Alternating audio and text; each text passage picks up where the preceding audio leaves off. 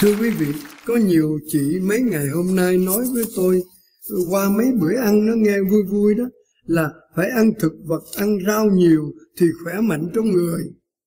Đây là chuyện cười nè, mà có thật đó. Có ông bạn tù của tôi ở San Jose, ông gửi cho tôi cái danh sách, cái hình, những con vật ăn thực vật, ăn cỏ, ăn cây rồi đó. Và những con vật ăn thịt sống, ăn thịt, ăn mỡ. Tôi nhìn cái hình cái tôi hiểu liền. Mấy con ăn thực vật, đứng đầu là con voi. Nó một tấn trở lên rồi. Có con nào gầy không? Con thứ nhì là con tê giác khoảng 300 kg. Con hà mã gần 400 kg cũng ăn cỏ không à. Con trâu, con bò trăm ký trở lên không. Còn những con ăn thịt cho sói ba bốn chục ký, sư tử có thể sáu chục ký, tối đa là tám chục. Như vậy, các bà các cô ăn rau ăn thực vật chắc chắn sẽ phì ra. Tôi nói phản chứng, đừng có thể nghe lời tôi rồi thực hành. Tôi nói để cười, còn những con ăn thịt rồi đó như tôi nè thấy không? Gầy, nhanh nhẹn không? Thấy chưa? Bây giờ chạy đua tôi không thua ai đâu á. Bởi vì ít gió nó ít cản. Thịt nhiều gió nó cản chứ có gì đâu. Rồi nghe đây, nghe để giải trí. Cái người phát minh ra cái thảm để chạy thể dục mà thấy nhà nào cũng có. Chạy chạy chạy trên đó đó. Ông ta chết lúc 54 tuổi. Cái người phát minh ra gymnastic, thể dục, chết 57 tuổi có giấy tờ ghi đàng hoàng. Cái người là vô địch thể dục tạo hình, tức là tập tạ cơ thể thật đẹp, gọi là bodybuilding, chết 41 tuổi. Cầu thủ best footballer là Maradona chết 59 tuổi. Nhưng cái ông phát minh ra KFC là ông đại tá Sanders chết 95 tuổi. Cái ông làm ra nứt theo là là hạt gen nứt ngọt gần chết đó, chết 89 tuổi. Cái ông làm ra thuốc lá Winston chết 102 tuổi. Cái ông chế ra thuốc phiện là opium 116 tuổi. Cái ông làm ra rượu Hennessy là rượu cô nhắc cực mạnh, chết 99 tuổi. Rồi so sánh đi. Rồi kết luận, con thỏ chạy nhảy tung tăng suốt đời, sống được ba năm.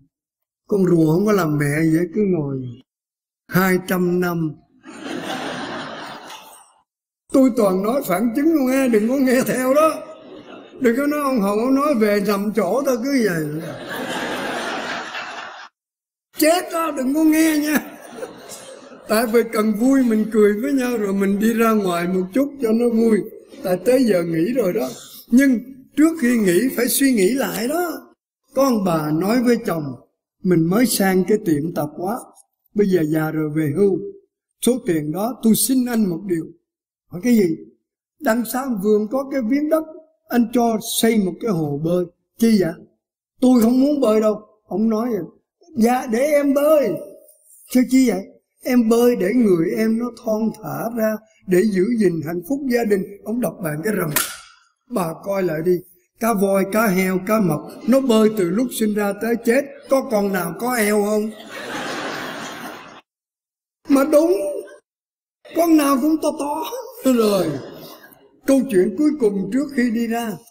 Có ông bạn, Ông nói với ông bạn là, bác sĩ, Vợ tao bây giờ Nó kỹ nắng Bà nào cũng kỹ nắng Nhưng lái lại là nặng ký. Lại, chúa tôi, nó nặng lên càng ngày nó càng phát ra. Và nó nói với tao là, em chỉ cần hút không khí không cũng mập. Nhiều bà nói vậy, hít không khí không cũng mập tôi hít hoài sao không mập cha đô cũng không mập rồi ông bác sĩ nói mỹ nó mới chế cái máy mà đứng lên cái nó lắc lắc lắc lắc lắc lắc. Thì mua đi. Tại cái gia đình này bên úc ồ oh, đặt hàng mua. Từ bên mỹ chở qua cái máy đó. Kêu vợ vợ, vợ mới mua này cho em này. bật máy bà lên đứng đây bật cái nó rung rung rung. Cái bà nói nó rung làm chi vậy? Để tan mở thôi thôi thôi thôi. Chóng mặt lắm té chết. Bà xuống bà tắt bà đẩy vô giường. Cất. Ông muốn tôi chết hả? Tôi nó run run vậy tôi chống mắt. Chồng buồn quá thôi đành mới mua. Nó xài có một lần chưa được hai phút nó tắt nó cất rồi. Mới nói với ông bạn giờ không có cách nào hết. Cất rồi. Ông bạn nói ở đằng sau vườn mày có miếng cái miếng đất khá rộng bà có thích cởi ngựa ồ ồ ồ. Nó thích cởi ngựa mà chưa tập thì cho người đi tập rồi mua cái con ngựa thật tốt cái yên thật êm bộ đồ thật là đúng. Có cái roi nữa rồi tập cho bà bà cởi. Đụng tại vì chạy nó cũng sóc sóc sóc sóc cũng gầy. Ô, ông chồng bỏ tiền ra con ngựa gần 80 ngàn nghe quý vị. Con ngựa tốt á mắc hơn xe hơi. Mua về mua cái yên cũng khoảng 5 ngàn nữa. Mấy bộ đồ cho bà trời ơi tuần sau thấy bà chạy vòng vòng trong trong vườn. Rất là vui. Cảm ơn anh. Em thích lắm. Wow. Chạy một tháng, ông bác sĩ bạn điện thoại nên kết quả ra sao? Xuống 15 kg wow bác sĩ nói để ta lên ta chụp hình. Để mà quảng cáo. Cởi ngựa cũng tốt. Lên thấy bà to hơn. Mới hỏi thằng bạn em mày nói xuống 15 kg là cái gì xuống? Con ngựa nó xuống nghe căng thẳng quá rồi. Căng thẳng quá, phải nói cho vui. Đây là câu chuyện hồi nãy chụp hình. Ở ngoài trước, cái sảnh đường của nhà thờ, thì có một bà nói, tối nay hình cha sẽ được lên Facebook. Tôi nói mày chết cha rồi. Tôi sợ cái vụ đó lắm. Tại sao? Tại tôi có bài thơ sau đây. Đây là lời tâm sự của một bà cụ nhá bà cụ mà cũng đua đòi lên Facebook đó ra vui lắm đây này. Nghe mấy đứa cháu nó xui bà. Hãy lên Facebook chuyện gần xa. Nên nhờ cháu lập mình nickname để đọc tin tức mọi miền gần xa. Thì được, cái ý của bà là tốt. Tổ sư mấy đứa nó hại bà. Lại đăng hình ảnh của bà lên face. Không đăng cái ảnh chụp mới đây, mà đăng cái ảnh những ngày còn son. Chết cha vào face mới được mấy hôm, mấy thằng trai trẻ chat luôn với mình. Khen rằng em xinh, em đẹp, nhìn người trong hình thật giống nàng tiên. Vào face chat cả ngày đêm, buông lời tán tỉnh sẽ nên duyên sau này. Mình nói là bạn đã lầm, thì nó lại bảo chẳng cần quan tâm. Tán chuyện với em có vài lần là anh đã thấy đời cần có em. Tổ sư cả lũ chúng mày, cứ nhìn vào ảnh có ngày chết tươi. Rằng anh thích em ở nụ cười.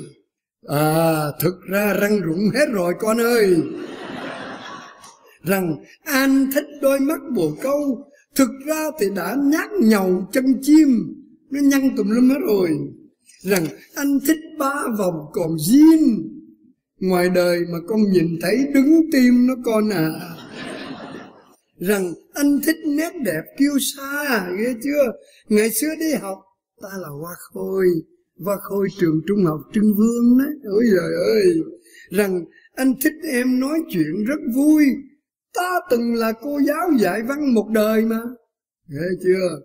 Rồi nó hỏi quê quán họ tên, trả lời với nó, nickname là mộng đào trời ơi, đẹp quá. Quê quán thì ở gấm nước lào.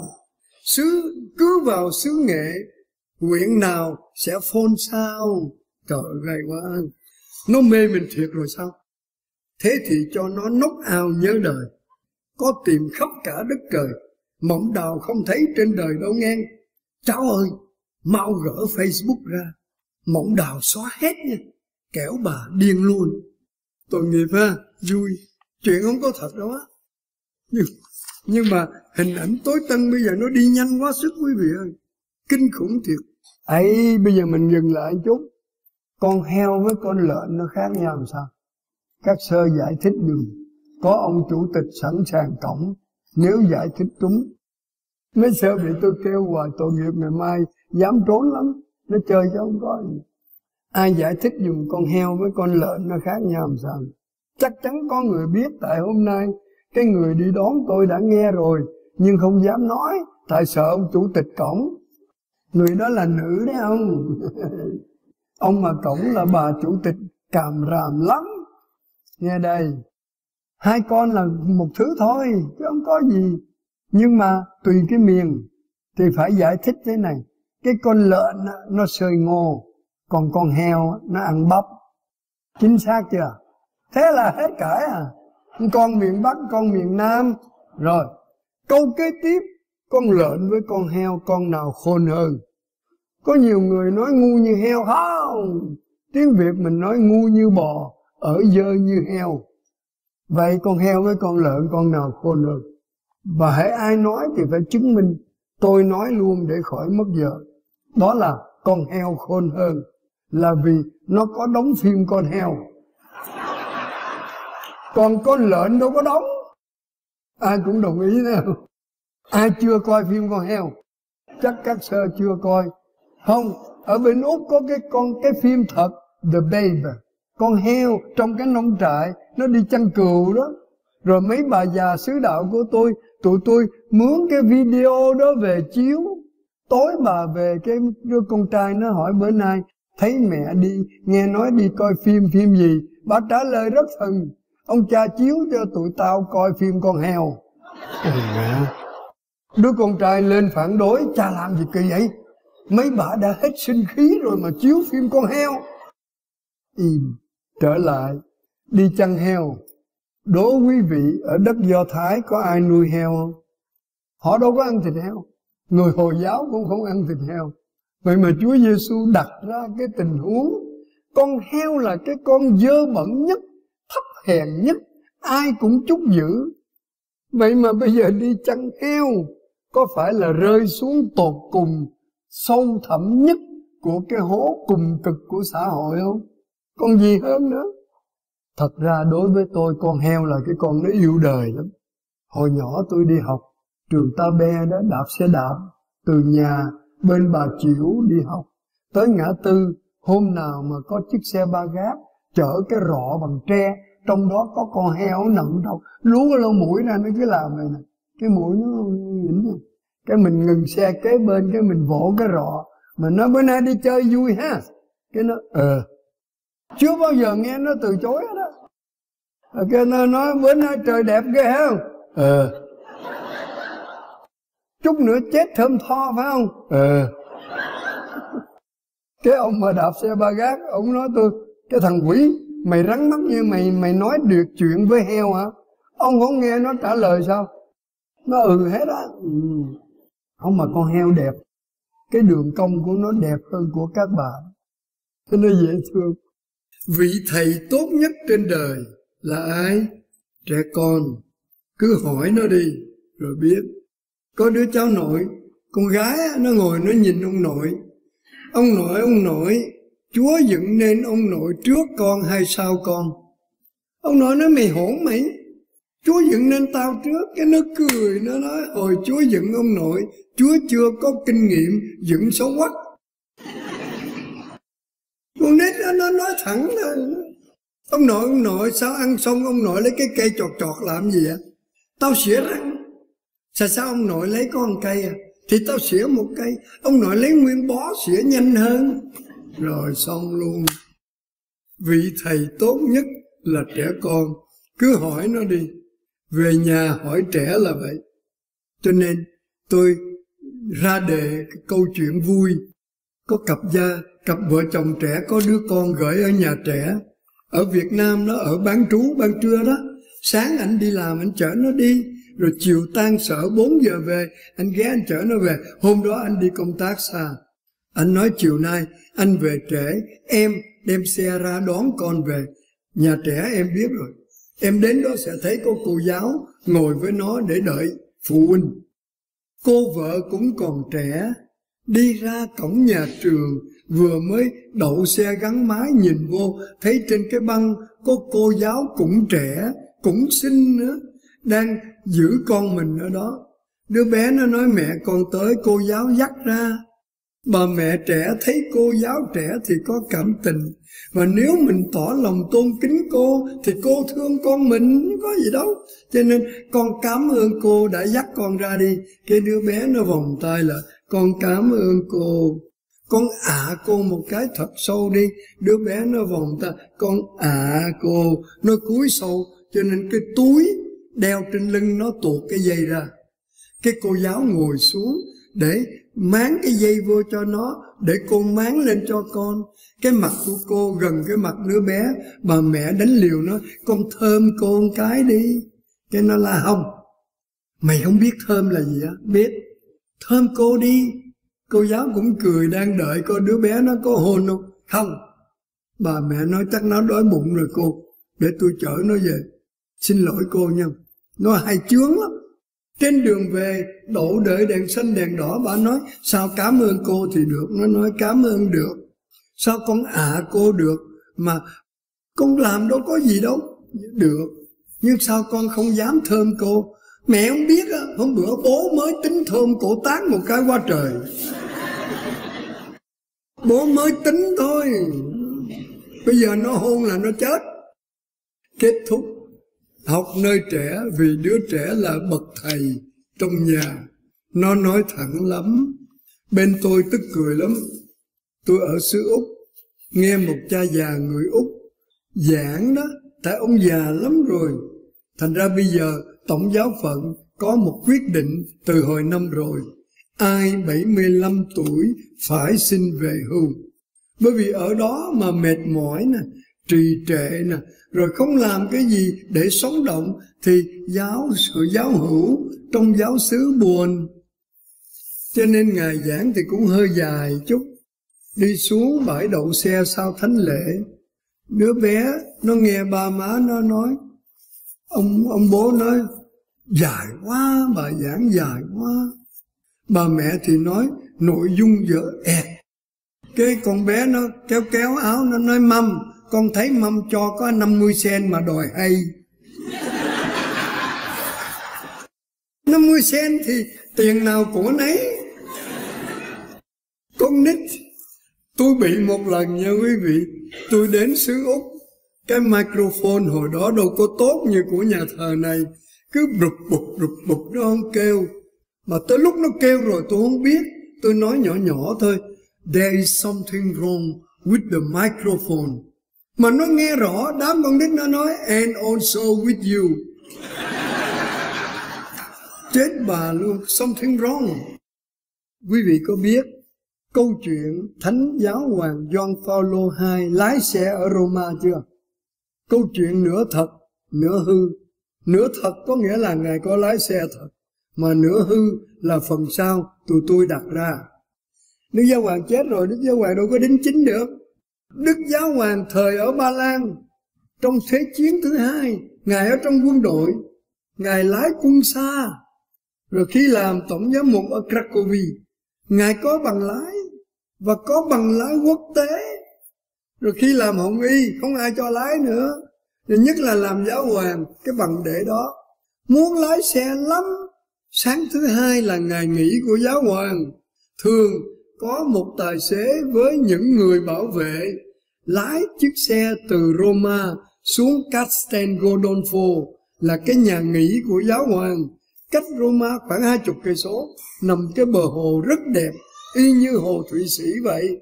Để nghỉ mát, lần nào ông tài xế cũng lái. Một hôm, không có mấy người cận vệ đi gần, vừa ra khỏi, đền thờ Vatican cái ra khỏi quảng trường Thánh Vero, Đức Giáo Hoàng vỗ vai, ngưng ngưng ngưng. Ông tài xế ngưng liền, dạ thưa Đức Thánh Cha muốn gì? Xuống đây ngồi, tôi lái. Thưa Thánh Cha có bằng không? Có, đấy bằng. Thì ông tài xế đành ra làm sao ngồi? Vui quá, lần đầu tiên giáo hoàng lái. Lần đầu tiên lái mới khốn khổ. Đường Roma, đường đường phố Roma, đường một chiều cả đóng luôn. Ngài đâu có biết đường nào một chiều chui vô đi đường ngược chiều. Chạy tỉnh bơ, xe nó né gần chết. Hiến binh nó thấy nó mừng quá mà lại phạt. Đi đường một chiều là phạt nặng lắm, nhất là chiếc xe to nữa. Nhìn vô, không dám phạt. Lấy máy bộ đàm, sếp, có nên phạt cái xe này không? Sếp nó nói xe nó làm lỗi gì? Nó đi đường ngược chiều. Ở ngay Via Aurelia là đường một chiều mà nó đi ngang nhiên lắm. Thì phạt đi. Tôi không dám phạt. Xếp lên đây quyết định. Tại sao? Là vì không biết cái ông này là cái gì, mà tài xế của ông là giáo hoàng. Như vậy ông ngồi đằng sau là chúa rồi. Câu chuyện có bị chặn là có thật. Còn câu chuyện đàm đạo giữa ông đại quý cảnh sát hiến binh với cái ông hiến binh đó là tụi tôi đặt ra. Mà mình thấy vui phải không? Rồi ở bên đây có cái may mắn là lễ giáng sinh, chúng ta cất tiếng hát đêm đông lạnh lẽo giáng chúa sinh ra đời. Đúng, ở bên úc cũng có. Cái tháng nó nó nóng gần chết, một trăm độ ép đó. Cho nên sướng cái bài đó lên, người ta ngó. Tay người ta quạt sạch sạch sạch rồi. Máy điều hòa không đủ, bởi vì khi vô đông như vậy là các bà quạt hăng lắm. Mà tôi bảo các bà càng nhúc nhích thì mồ hôi nắm nó càng ra. Ngồi im như tôi này, bởi vì ngồi bàn thờ đâu có nhúng nhích gì được. Mồ hôi nó chảy trỏng thì kệ nó. Mà mấy bà bà bà bà bà. Cho nên có nhiều bà sau lễ đến nói, cha, ở bên này đi mua cái quạt đã khó. Cha có bí quyết gì để quạt tất cả những mùa nóng bên úc mà cái quạt nó không hư? Ai có bí quyết? Tôi có liền. Tôi nhớ lại một cuộc thi hà tiện mà chủ đề là giữ quạt giấy. Hiểu chưa? Hà tiện cái quạt giấy đâu có bao nhiêu tiền mà chủ đề thi cả nước tuyển được ba người hà tiện nhất. Người thứ nhất vô ban giám khảo hỏi có cầm cái quạt đó? Phải phải. Quạt này xài bao nhiêu năm rồi? Mười năm rồi. Ồ oh, quạt giấy xài mười năm xin cho bí quyết. Tức là ông ấy nói là ông nội tôi truyền cho bố tôi bố tôi truyền cho tôi là mở nhẹ nhẹ ra thôi. Quạt mười cái thôi. Nhẹ nhẹ. rồi xếp nhẹ nhẹ lại. Chừng nào thấy mồ hôi chảy, mở nhẹ nhẹ ra, quạt 10 cái. Ôi vậy thì bao giờ nó rách? Cả hội trường nó thằng này, nó hà tiện quá sức. Nhưng mà thí sinh thứ nhì, quạt xài bao nhiêu? 20 năm. Còn ghê hơn nữa, bí quyết ông nội ông cố dạy mở năm cái nang thôi, quạt năm cái thôi. Rồi xếp lại, hồi nữa mở năm cái nang nữa. Oai quá hô! Chắc là thắng rồi, tại hơn ông kia rồi. Ông thứ ba lên, quạt tôi xài 40 năm. Khuyết, bí quyết. Ông cố, ông nội tôi dặn mở quạt ra để đây, Lắc đầu.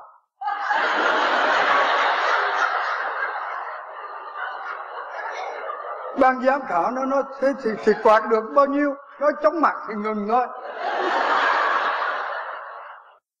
Vậy đó đó là bí quyết của tôi. Đây cũng có một trường hợp đơn sơ quá người ta bảo là khờ có cặp vợ chồng chuyện cười nữa đó. Có cặp vợ chồng mà cái tựa đề chuyện này là mỗi lần vâng lời vợ là đổ nợ. Nghe nó kỳ kỳ á có cặp vợ chồng có đứa con đầu lòng gọi là con gì? Con só. À, hai ba tháng nó cứng cứng rồi đó. Hai vợ chồng ẩm nó đi lễ. Thì ở trên ông cha giảng dưới nó cũng giảng. Nó é ế ế rồi. Nó e e hoài nó đòi bú. Mà ở nhà thờ mà vạch ra bú thì là dịp cám dỗ cho người khác. Cho nên hai vợ chồng về ông chồng nói khó chịu quá em con mình nó làm ồn ào quá người ta chia trí trong nhà thờ. Em có cách nào để mà không mất lễ mà không quấy rầy ai?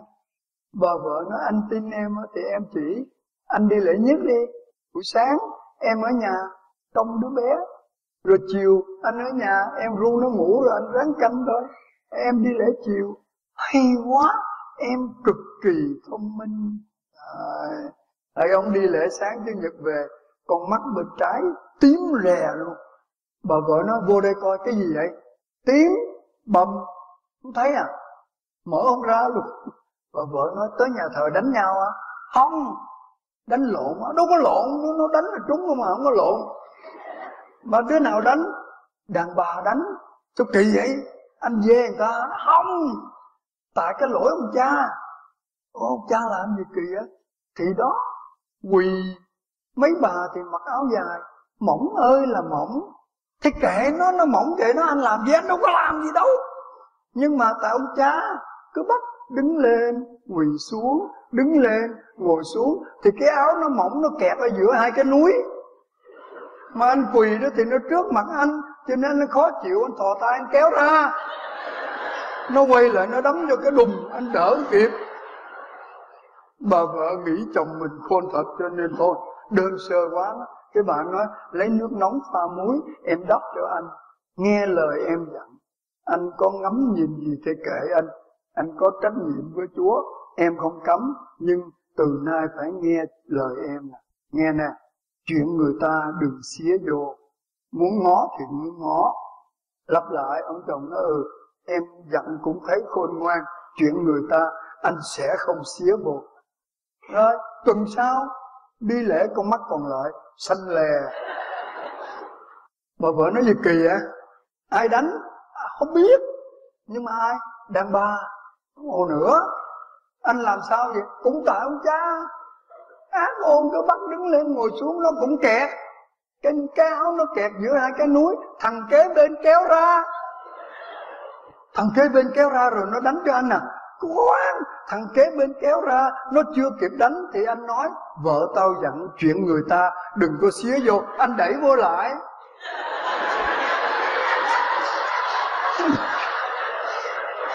Nó mới đánh. Chắc không có ai mà khờ đến vậy đâu. Nhưng mà nói để cho vui đó. Xin cho tôi ra đề chút để kể một chuyện vui đó là, tôi nhớ câu chuyện sau đây, câu chuyện thi nói láo. Quý vị biết không? Câu chuyện vui thôi. Thi nói láo. Cả nước tuyển lựa được ba người nói láo. Nhất đó, bây giờ vô chung kết. Đề tài là câu cá. Anh thứ nhất lên nói, ở quê tôi đấy, thả lưỡi câu xuống, giật là con con cá bay lên. Cứ bất kỳ lúc nào, cái lưỡi câu đụng nước, giật là con con cá bay mấy người kia nói, mẹ láo bỏ mẹ. Làm gì có chuyện đó. Thôi được, mời thí sinh thứ nhì lên.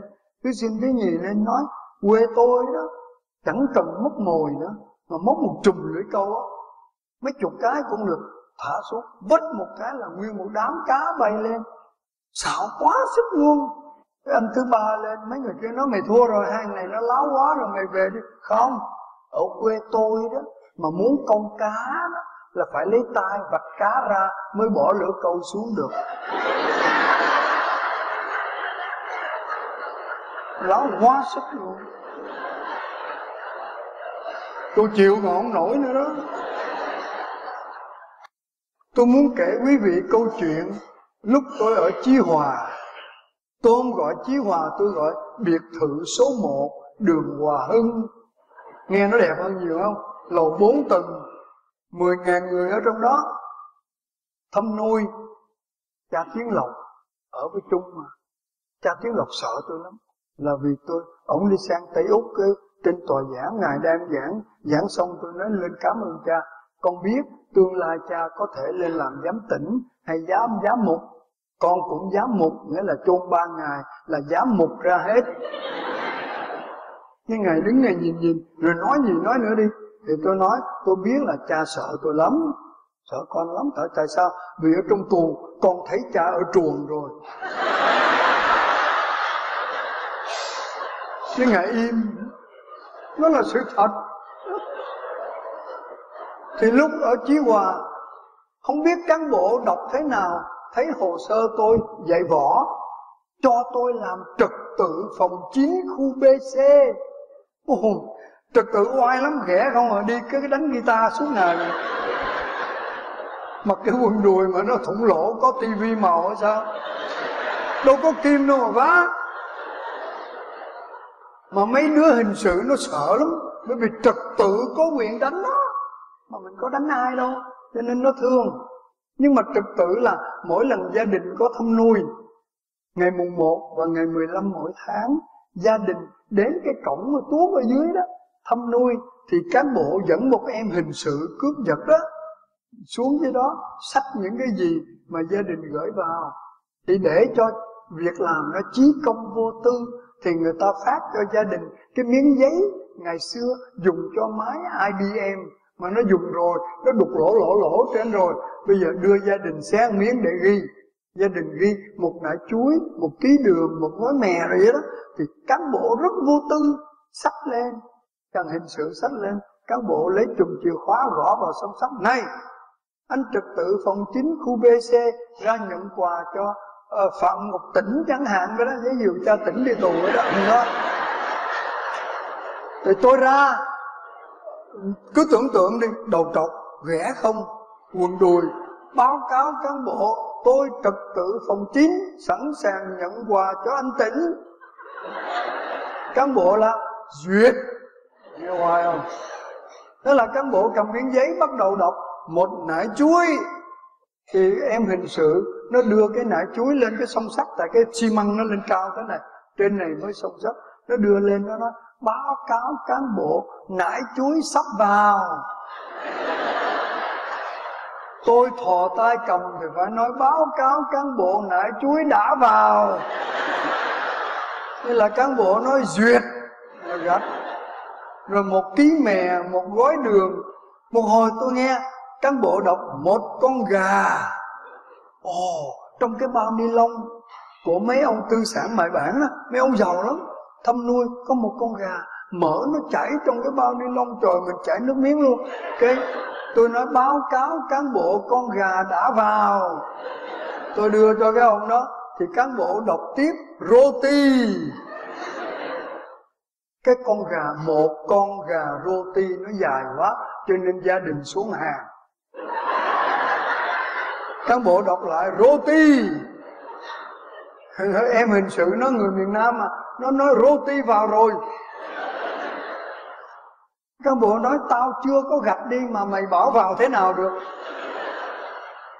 Nó nhìn vào phòng nói, mấy anh thấy chưa? Cái đám này nó cướp giật quen rồi đi từ dưới cổng lên là nó sơi tái cái roti rồi. Cán bộ mới nói to lên, gà vào rồi nhá mày, mà roti chưa vào. Tôi mới trong phòng mới nói, anh anh hồng anh hồng, anh trật tự phòng nói dùng chúng tôi nó quánh thằng nhỏ tội nghiệp. Báo cán bộ cho tôi nói nhỏ. Cán bộ họ oai lắm. Chuyện chí công vô tư, phải nói to thì tôi la to mới lòi ra cái quê. Tôi nói, báo cáo cán bộ, trong nam gà roti là một món, cho nên roti vào chung với gà rồi. Thưa quý vị, chuyện này mà nguyễn ngọc ngạn biết là dám lên kể lắm. Tại chỉ có mình mình, có mình mình nhớ chuyện này thôi. Hắn đưa miếng giấy vào, trật tự phòng 9 khu bc xác nhận Rô ti đã vào với gà. Chuyện vậy đó, mình cười là mình mình, tại mình biết rồi, mình cười họ không biết. Một chút một cái người khác thăm nuôi thì thấy một, hắn đọc một ký nạp nạp nạp nạp cái mẹ gì? Nạp xưởng. Thì em hình sự nó đưa lên, nó nói một ký lạp xưởng sắp vào, tôi nói đã vào thì hai anh vệ binh hỏi nhau, chúng nó ăn con gì không đầu không đuôi thế? Anh kia làm ra vẻ hiểu biết nói, hình như chúng ăn nến. Giống cái nến, giống. Chuyện cười thứ nhì cũng ở tù. Lúc lúc tôi ra, thung lũng tử thần A20 thì có những anh chị em là cụ sĩ quan mà công binh, họ máy móc giỏi lắm. Thì cán bộ lãnh mấy anh ở nhà để sửa xe riêng cho mấy mấy mấy cán bộ. Thì mấy anh cũng sướng thôi. Ở nhà, rồi nó mua mấy cái xe Honda Dam mà Honda cánh én cũ đem về. Rồi mấy anh tù mới nói, bây giờ cán bộ đi ra Nha Trang mua cái cylinder đó rồi cái piston rồi hay suối cái gì thì ghi ra nó đi mua về. Mấy ông ở nhà ráp. Tôi thấy một ông ráp chiếc Honda 67 mình cũng mừng bởi vì ông ráp ông nói cán bộ phải lên nòng. Nó nói súng ống đâu mà lên nòng.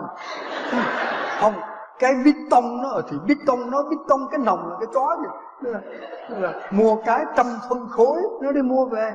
Mấy ông ráp xe tôi nghe nổ tốt thật. Tiếng kêu cũng tốt sáng chủ nhật, cán bộ vào lấy xe để đi nấy ne. Đi vào thì sáng chủ nhật đâu có đi lao động, mang cái dây chéo này, có cái bình xăng 3 lít bằng nhựa đó, đeo đây. Vào này, xe tốt chứ? Mấy anh mấy anh sĩ quan nói, báo cáo bộ tốt lắm. Này, sao nó ninh tinh thế này? Tay nào tay nào? Thì thưa cán bộ, đây tay ga, đây là bóp vào rồi sang số, rồi từ từ mà thả ra. Số là cái gì? Số là như cái xe molotova vậy đó. Số 1 nó chậm nhưng nó khỏe nhất, rồi sang hai, sang ba, sang vậy. ôi, dễ thế. Tới đi nhé trước khi đi, đổ xăng vào. Cái xe Honda 67 đâu có cái chìa khóa trên nắp, cứ vặn cái nắp đổ, đang đổ, người tù đang đổ. Này, còn để dè dẹt nữa. Reserve mẹ trong đó nó có không phải đặt để trước người này. Không sao. Xong rồi anh đạp rùm, sửa nón cối là tới đi nhá. Anh rú lên khá to, anh vô số 1 anh thả ra xe đứng lên. Anh nhảy xuống xe chạy một mình. Tôi ngồi đằng xa là tôi đã bắt cười rồi. Xe nó chui vào rào dâm bụt, nó không hư, tắt máy. Gỡ nôn cối đập vào đùi. Mẹ nó, chúng nó nu manh thật bảo nó bán xăng thường, nó là rót vào đây xăng máy bay. May mà tới nhảy xuống kịp. Đây, bây giờ nói về cái chết nha. Chết là chữ tử vào cho nên người hoa với người nhật không thích số 4 số 4 là tứ. Cái âm nó đọc trùng với chữ tử. Họ thích số 4 bị trúng gió mà chết gọi là gì? Cảm tử. Bị cảm mà chết. Trời ơi, vậy mà nghĩ không ra. Bây giờ nhập vô băng nhau bị chết trong chùa gọi là gì? Tự tử. Tự là chùa. Rồi. Chết một cách lãng xẹt gọi là gì? Lãng tử đó. Bị rậm chí nó cắn chết gọi là gì? Chí tử. Thấy không? Hay quá. Bị điện giật chết. À điện tử. Đi ăn tiệc rồi mắc tè quá, đi ra ngoài té chết. Tiểu yến tử chết đuối dưới sông. Giang tử, có tật chơi sông trong đó, chết ở ngoài nông trại. Trang tử, nông trại đó. Người to lớn khỏe mạnh mà chết. Khổng tử, khổng lồ. Không có bệnh hoạn gì hết, tự nhiên lăn đùng ra chết. Mạnh tử, trời ơi. Mọi việc làm xong rồi mới chết chu tử. Chu đáo lắm. Cha chết thì gọi là gì? Phụ tử. Mẹ chết gọi là gì? Mẫu tử. Đó. Em chết gọi là đệ tử. Vợ chết gọi là thê tử. Phải đâu. Thê tử là vợ con. Chồng leo lên núi, rồi bỗng nhiên chết là gì? La sơn phu tử. Thầy giáo chết gọi là gì? Sư tử. Đó. nghe nè, bị vợ đánh chết gọi là gì? Khó đó. Ai đã từng bị vợ đánh sắp chết rồi? Bị vợ đánh chết, tiếng việt nam dân gian gọi là nhừ tử. Có có một ông, thằng con nó sắp cưới vợ. Nó nói, bố ơi, bố, hồi bố mới quen mẹ đó, thì bố gọi mẹ là gì? Ông ấy cười, ông nói, hồi đó còn lãng mạn lắm mày gọi bà là nương tử. Ừ. rồi khi bố cưới về rồi thì là gì? Thê tử. Bố cưới được ba bốn năm là gì? Sư tử. Bà đứng trên lầu bà nghe, lại nói xấu, tôi mà xuống là hai ông cha con ông nhừ tử đấy. Tức là hai người chạy lẹ vô phòng đóng cửa lại và cả hai đều đọc, xin cứu chúng con trong giờ lâm tử chết đến nơi đó chứ mà chơi đâu. Làm sao đang nói tới đâu? À tại vì nhắc tới sáu bệnh nó quên mấy cái khác. À, ai nhắc giùm tôi đi. À ông cha giảng hay giúp dòng nữ nguyên một dòng nữ như mấy gì mấy thánh giá Los Angeles đây vậy đó đông lắm. Mấy chục sơ vậy đó. Cha giảng về nhập thể incarnation. Chúa Giêsu nhập thể. Mình cũng phải nhập thể. Cho nên tới cái ngày lễ bế mạc có khấn khấn xong cha mới lên bàn thờ nói cảm ơn nhà dòng cảm ơn. Hôm nay tôi muốn hỏi một trách nhiệm là từng gì có mặt ở đây gì nào muốn nhập thể làm cái gì trong cái nguyện đường này? Ồ oh, bà bề trên giơ tay lên nói liền con là phụ trách ở đây con ước gì con nhập thể làm cánh cửa nhà thờ để bảo vệ nhà thờ. Tất cả mấy chị em vang hô. Một chị đẹp đẹp thì nói, con muốn nhập thể làm cái chậu hoa, bởi vì bà khá xinh. Con muốn làm chậu hoa để trưng cho nhà thờ đẹp. Cha thấy đúng. Một chị học giỏi nó con muốn làm ngọn nến để soi sáng. Một chị thì ẻo lả, con muốn làm cái lá cờ treo, bởi vì gió thổi cái nó uống uống người nào cũng nói đó có một chị trẻ măng à, cứ cúi gầm mặt à không nói. Cha nói còn một gì nữa chưa nói? Vậy cho chúng tôi biết gì muốn nhập thể làm gì? Không con không nói. Bà bề trên hơi nóng nảy chút nói em nói đi chứ làm mất giờ mọi người. Dì đó đứng lên nói con chỉ muốn nhập thể làm bàn thờ. Mọi người giật mình nó khôn nhất nó muốn làm Chúa Giêsu đúng vỗ tay quá chừng. Cái bà ngồi xuống bà nói, con không có nghĩ cao xa vậy đâu. Con muốn làm bàn thờ để mỗi lễ con được ông cha này hôn hai lần. À có ma sơ ngồi đây. Tôi nhớ cái câu chuyện này để nói Chúa Giêsu cũng là người như mình, kể cho vui chứ nó không có thật đâu. Nó mặn hay không thì không sao, tùy người. Chắc không mặn. Thứ trong cái tuần thánh, những bậc lớn tuổi đi ra hải ngoại vẫn giữ truyền thống. Nhiều nhà thờ, người Việt có ngắm đèn để mười mấy cây đèn nhau mười bốn cây, rồi tắt từ từ từ từ, rồi một người lên ngắm. Mấy cái ngày đó tôi sướng lắm, bởi vì trẻ con nó vào nhà thờ, tôi không phải giữ trật tự nữa. Bởi vì nó vào, nó nghe đang ngắm, cái nó tới nó hỏi, father, who dies? Ai chết rồi nó sợ lắm nghe cái tiếng ngắm á nó sợ lắm là nó ngồi im khỏi phá thì có một ông một ông linh mục đó ở dưới cái mơ á đi lên trên trên Sài Gòn mua mấy quyển sách thì tình ngờ thấy trong nhà sách 38 kỳ đồng các cha dùng chú có thể có cuốn sách ngắm đèn. Tôi bỏ ra hình ảnh đẹp, nội dung viết, chữ in rất rõ, mua mấy cuốn về, mời mấy ông trong ban thường vụ lên, mỗi ông nhận một ngày, ông này ngắm ngày thứ ba tuần thánh, ông này thứ tư, thứ năm, thứ sáu, trong bốn ngày đó, bốn ông đem về tập. Nhớ chưa? Dạ nhớ nè, nhớ. Sách của tôi còn mới, đừng có cho trẻ con nhà ông nó mó vào. Bẩn là tôi bắt mấy ông lên Sài Gòn mua đó. Dạ hứa, mấy ông đem về để bàn thờ. Có giờ thì tập, rồi hãy đi ra ruộng để lại bàn thờ, thì trẻ con nó lấy xuống nó xem. Rồi nó thấy ông về ngoài cái đường đê là bố về cất lên. Chuyện xảy ra trong vòng mấy tuần, tới ngày thứ ba tuần thánh, một ông được lên, bắt đầu mở sách ra, cộng đoàn chờ đợi tiếng ngắm. Ngày thứ ba thì ngắm quá sốt sắng luôn, ai cũng thích một ngày của Chúa quả là vĩ đại. Nào là Chúa huấn luyện các tông đồ, Chúa chữa người người bị bệnh, người mù được thấy, người què được nhảy như nai, người cùi được sạch, và người chết sống lại. Hay quá, sốt sắng. Chúa chơi với trẻ con, Chúa tiếp xúc với hết mọi hạng người, rồi chiều về, Chúa không bao giờ quên lên đồi thanh vắng đi cầu. Cái thằng thợ in giống vậy nhỉ cái thằng thợ in đáng lẽ nó phải biết cái chữ đó là chữ kép, đáng xếp xếp để ghép chữ nguyện vô.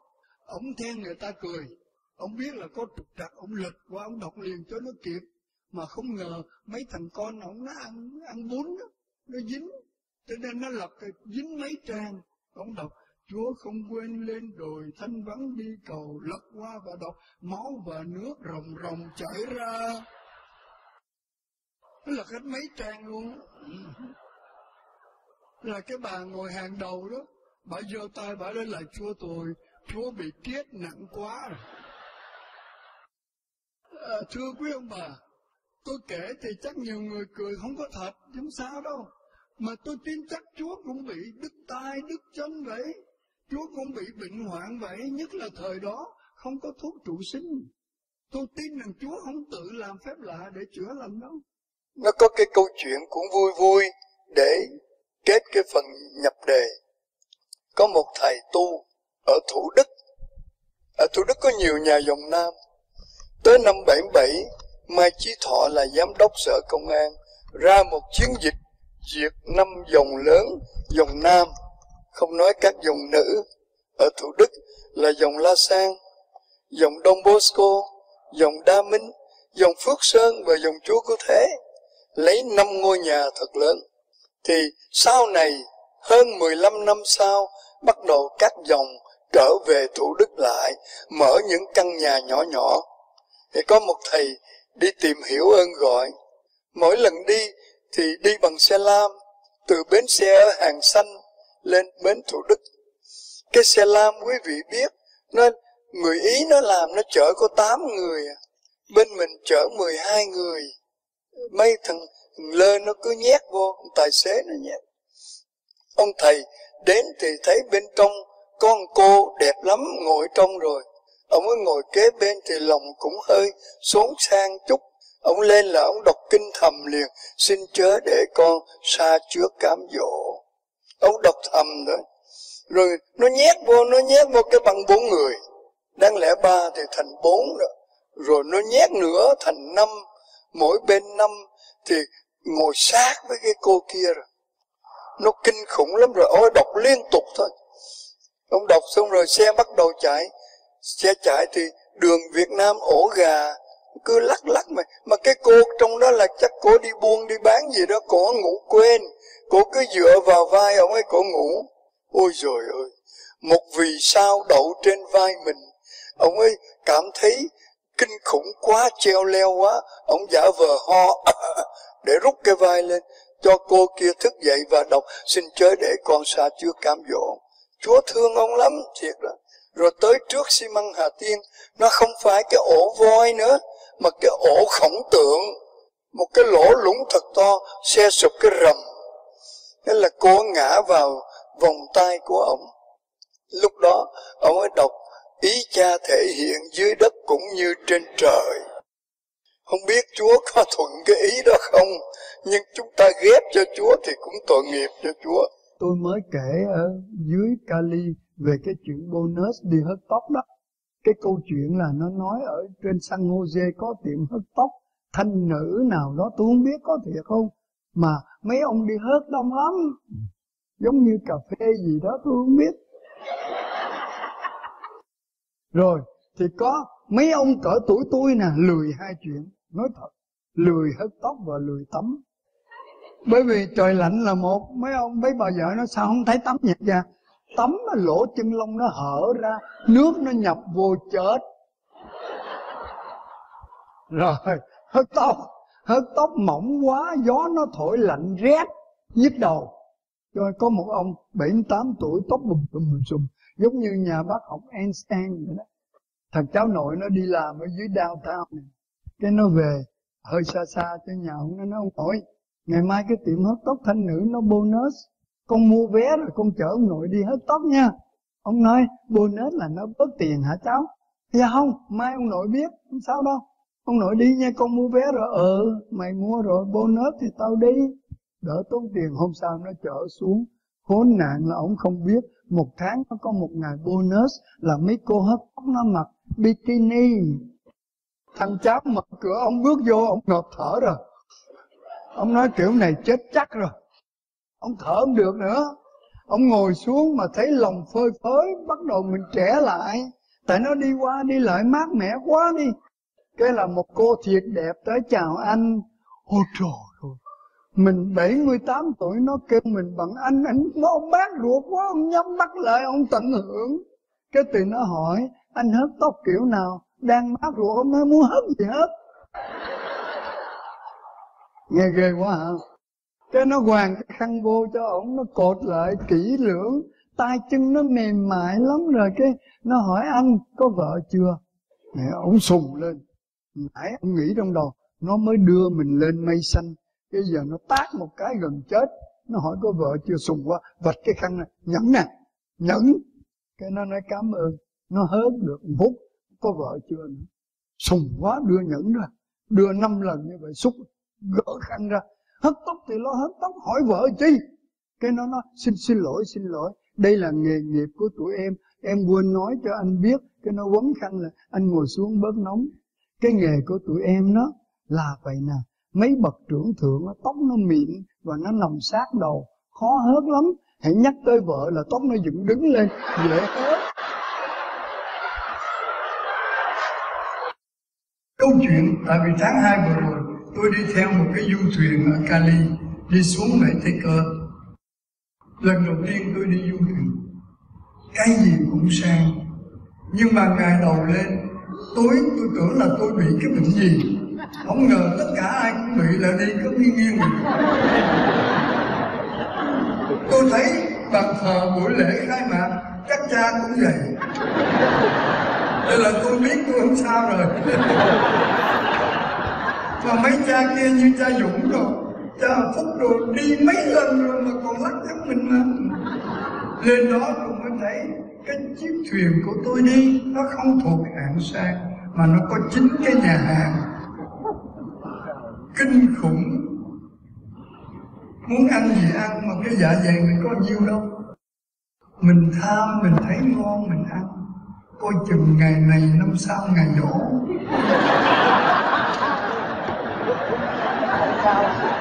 chết rồi cái gì nó cũng có câu chuyện để nói.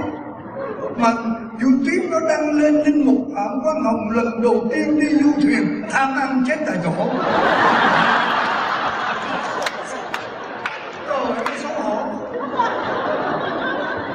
Tại sao tôi dùng câu chuyện du thuyền? Tại vì có hai ông bà mừng lễ ngọc Dạ thưa lễ ngọc là bao nhiêu năm trong đời hôn nhân? 60 năm. 25 năm là lễ gì? Lễ bạc Silver. Đó, bạc 50 năm là lễ gì? Lễ vàng 60 năm lễ ngọc.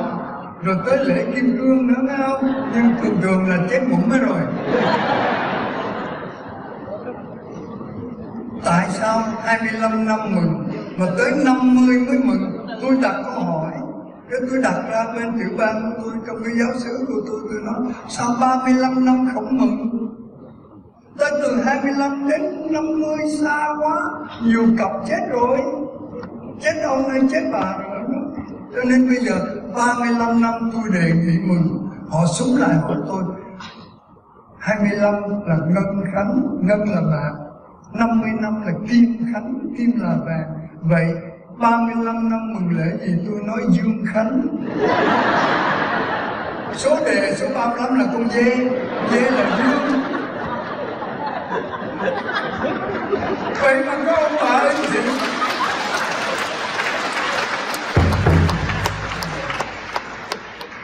Tại cái đầu của tôi nó quỷ quái lắm. Hồi nhỏ tôi nổi tiếng phá trong trường. Cho nên nó có chuyện gì nó cũng xuyên tạc được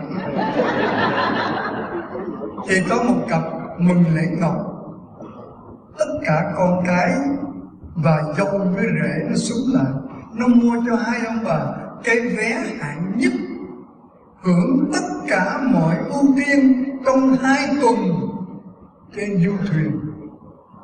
Đi từ Cali lên tới Alaska, rồi trở xuống. Đi xa lắm. Và họ nói, ngày đó tụi con sẽ chở ba má ra bến làm thủ tục. Ba má cứ lên rồi ở trên đó, cái vé nó có đủ mọi thứ. Ba má cứ tận hưởng. Vì xứng đáng với 60 năm sống đời hôn nhân. Hai ông bà cảm ơn. Lần đầu tiên đi thì thấy cũng vui vui, nhưng hồi hộp là vì nghĩ trước trên đầu trong đầu của mình, tụi nó ăn đồ tây mình ăn không được. Thật sự ra trên đó, nhà hàng người hoa đó nấu món ăn Á Đông mình nhiều hơn món Tây nữa. Nhưng mà hai bà bàn nhau, thôi, bà đem theo một thùng mì gói. Tôi cũng một thùng. Lên đó mình ăn vì nó hợp khẩu vị và tiết kiệm tiền của con cái. Trai chúa tôi nó đưa lên. Ngày đầu hai bà xuống ngồi ăn thử. Mới tới cửa tôi chưa vô. Thấy nó đứng nó xét vé cái hai ông bà nó thôi thôi thôi thôi, cái này không được. Nó xem vé là không có xong rồi. Thôi đi về. Thế là à, lấy cái cái bình thủy đó rồi cấm lên nấu mì gói ăn trời thấy cũng ngon. Ăn ủi thôi. Đi hai tuần. Tới ngày có sắp về rồi ăn hết mì gói rồi đó. Thế thì ông mới nói với bà bây giờ nó mua vé mà bây giờ mình về nó hỏi nhà hàng ăn món gì? Ngồi ăn ra làm sao mà mình không biết sao được. Cho nên tôi với bà, tối cuối cùng xuống ăn nha. Bà nói ừ đúng, ông nói đúng. Tôi nó hỏi không biết chuyện quê hai ông bà xuống là thấy nó xếp vé có vé nè, làm gì hỏi dữ vậy? Hai ông bà lấy vé ra. Cái cô xếp vé của người việt. Cô nói dạ chúa ơi chúa ơi, hai bác, từ hôm lên tàu tới giờ ăn cái gì? Ông nổi giận lên tôi muốn ăn gì tôi ăn cô hỏi chi? Không không không xin lỗi hai bác. Cháu hỏi là vì có bao nhiêu bữa ăn này? Trong hai tuần 14 ngày mỗi ngày ba bữa bác chưa xài bữa nào hết. Ông mới hỏi bà hỏi lại nó coi nó nói có đúng không nó dạ đúng. Bây giờ sắp hết chuyến đi ngày mai là nó đáp vô bến thì mấy bác còn nguyên bao nhiêu bữa ăn nhân cho 14 mà hai người? Trời ơi tiếc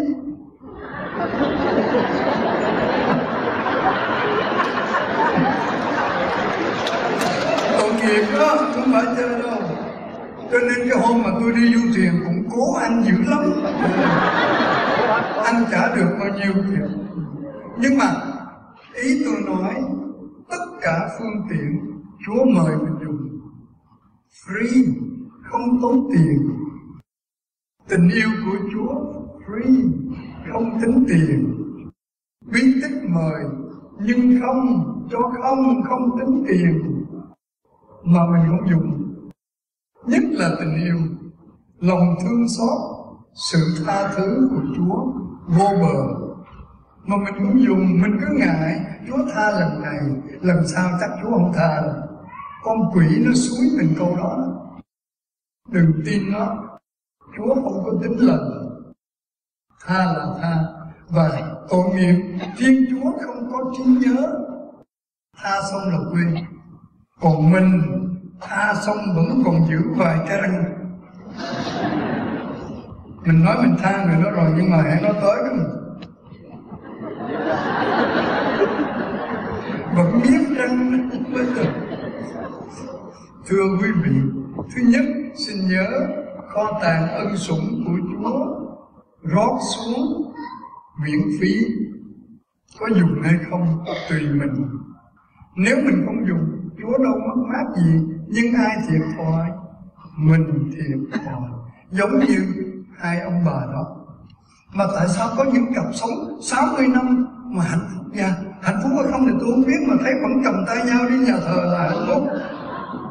Nhất là người tây phương, hai ông bà lớn tuổi cầm tay nhau đi, thấy cô ơi nó romantic, lãng mạn vô cùng. Còn bên mình tới nhà thờ cái bà đi trước, ông đi sau.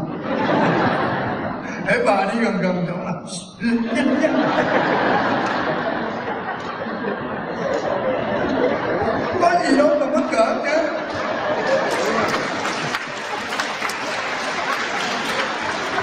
mình đã nguyện suốt đời yêu thương và kính trọng nhau mà sao mà cỡ vậy? Tôi nói nhỏ cho nghe, có một bà 85 tuổi ở bên xứ đạo của tôi bà giận chồng. Giận đâu phải cái tội. Thánh phaolô nói rất rõ, mà tôi chế đâu, nổi giận không phải là tội. Đó là một phản ứng của tâm lý về tự vệ của mình. Nhưng đừng để cơn giận suối mình, lôi mình làm những điều bất công. Có hại đến người khác, có hại đến chính mình, lúc đó có lỗi. Cho nên đừng có đi xưng tội thưa cha, con có một mình. Tôi nói ngu. Sao không một nó mà lại đi một mình? Người nào chọc bà, già chồng con thì đi bực ổng. Tại sao bà bực bà? Bà nói sao cha biết con bực con? Bà nói bà bực mình. Bà vô duyên thế là cãi nhau.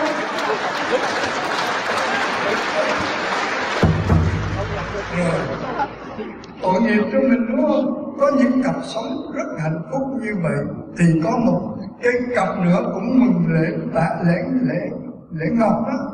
Con cháu nó tới đầy nhà mà từ thời con xuống tới gì? Cháu, rồi chắc, rồi gì nữa? Chục chỉ trúc chức chém chữa chém chỉ trọt chạy 13 đời. Mấy cái sao tôi đặt ra đó, không có nó chôn, nó chĩa rồi nó chém, nó chỉ trọt rồi nó chạy là đời thứ 13 mình thì tới con cái cháu chắc thôi. Nó tới đầy hết. Cái nó súng lại, phỏng vấn có máy rồi hãy đưa máy ra là hai bà hồi hộp lắm cha bởi vì nó thông, nó giữ lại, cho nên hai bà nhìn nhau ông suối bà nói đi, tôi không nói đâu, bà nói khéo hơn. Dạ thưa ông, nội bà nội, ông ngoại bà ngoại, ông bố bà cố bà nó có ba bốn thế hệ. Làm sao mà hai ông bà bà sống yêu thương nhau đến ngày hôm nay? Ông là bà nói đi. Bà lại nói, ông nói đi lời phật của ông hai bên cứ đẩy nhau tụi nó đưa microphone qua lại mình. Nó nói, thôi bây giờ mời ông nói. Ông nói là do bà. Sao hay vậy? Đây là câu chuyện ngày mới cưới về quê ở thủ thừa long an đó. Ông mới lên học máy cơ khí xây lúa ở trên sài gòn, quen được cái cô con gái gọi là tiểu thư cành vàng lá ngọc của sài gòn. Rồi dụ về với em, về đi em về với quê anh đó cô này thấy của ảnh cũng thật thà dễ thương, theo về cho nên hai bố mẹ chồng đó, gọi là ba má, miền nam gọi ba má chồng, thấy con nhỏ người sài gòn thì cưng lắm. Không có bắt làm gì hết á. Nhưng mà rồi về dưới quê thì cũng phải làm. Mà cái việc dễ nhất là bữa củi cho nó nhỏ nhỏ ra thôi, để mồi bếp. Ngày đầu về bà má chồng nói, con biết về chẹt củi không? Con dao nó không có nặng lắm, con ra con trồng vậy nè rồi con gõ lên cục, cái cục gỗ ở dưới đó, cho nó nhỏ ra để mồi bếp nhà được. Gỗ ra thì con chó vẹn, con chó vẹn là nó màu gì? Màu vàng vàng vàng vàng. Còn con chó mực. Vì sao không gọi con mèo mực? Mà kêu con mèo gì? Mèo muôn. Sao không gọi con gà muôn? Mà kêu con gà ô kỳ á tiếng việt nó nói không bà đang ngồi trẻ trẻ thì có chó bệnh ông chồng ngồi trong thấy để coi phản ứng của vợ mình sao? Bà hiền lắm, bà cầm con dao, bà nói, tao cảnh cáo lần thứ nhất như này. Wow, ông chồng nghĩ trong bụng, ông phục bà ghê bà hiền lắm, cầm con dao nói, cảnh cáo lần thứ nhất, thôi có làm gì hết xong bà trẻ củi nó sủa nữa bà lần thứ hai như này bà trẻ củi tiếp. Không có nghe lần thứ ba. Cục, rớt cái đầu chó ông chạy ra, ông nói, em, con chó của tía sao em giết nó? Bà cầm con dao chỉ lần thứ nhất nghe không? Từ đó không có lần thứ hai nha. ba là xong rồi hả?